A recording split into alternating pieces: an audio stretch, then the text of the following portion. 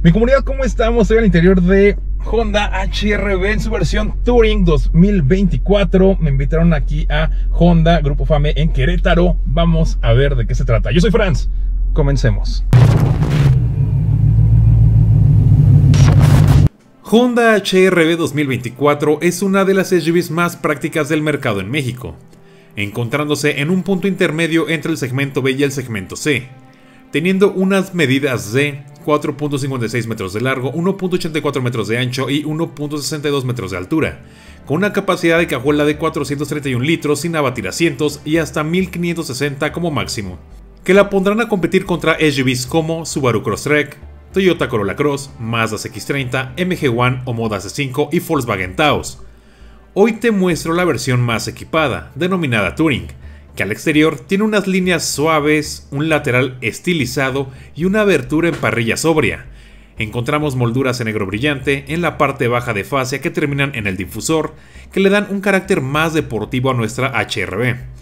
En la parte trasera una salida de escape en punta de aluminio que me hubiera gustado fuera doble para dar una apariencia más agresiva.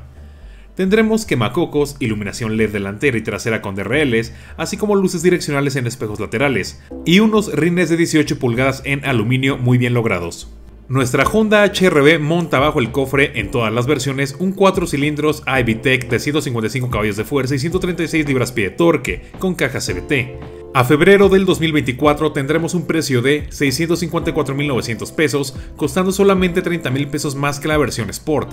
Y realmente sería un error comprar la versión Sport, ya que por 30.000 pesos extra ganaremos toda la tecnología en seguridad de Honda, el Honda Sensing iniciando por 8 sensores de estacionamiento, control velocidad crucero adaptativo, seguimiento a baja velocidad, luces altas automáticas, alerta de frenado por colisión frontal, sistema de conservación de carril, sistema de mitigación de colisión con frenado, asistente de salida de carretera y asistente de tráfico pesado, que son de los equipamientos más caros en vehículos hoy en día.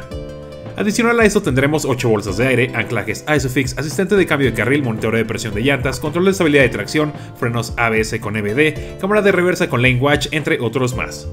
Vamos a encender nuestro Honda HRB.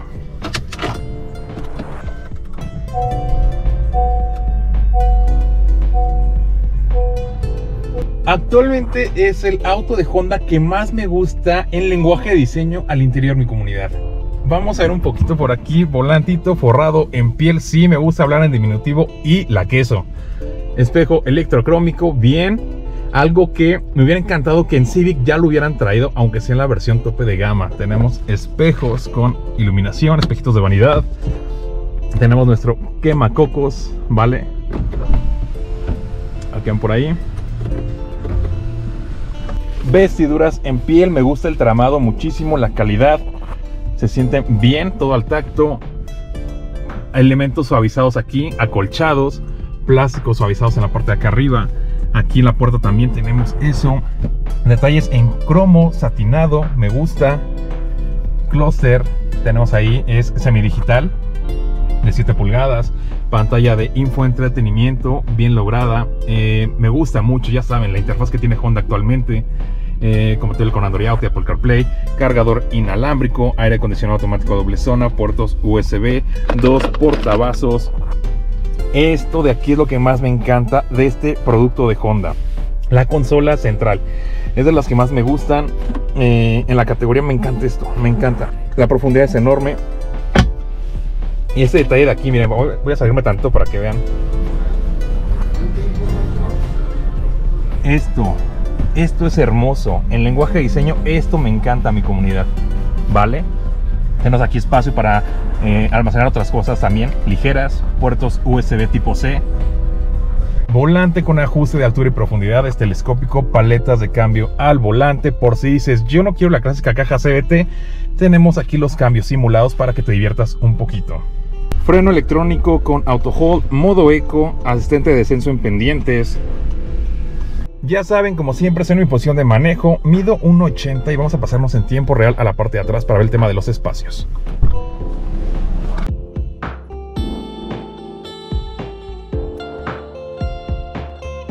Es muy grande.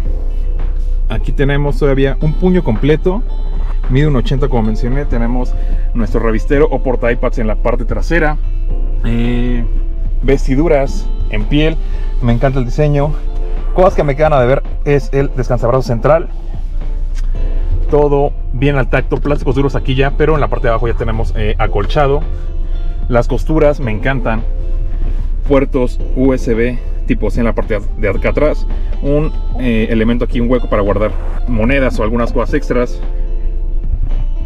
Y pues muy grande, muy grande. O sea, si tú dices, ah, me gusta este tipo de, de productos de SUVs como del segmento B, pero grandes, porque todavía no entran eh, a competir con las compactas como tal. Esta es de las más amplias para tu familia, realmente. O sea, si dices, ah, yo quiero una X30, pero te vas a la parte de atrás y dices, no quepo ni de chiste. Aquí sí.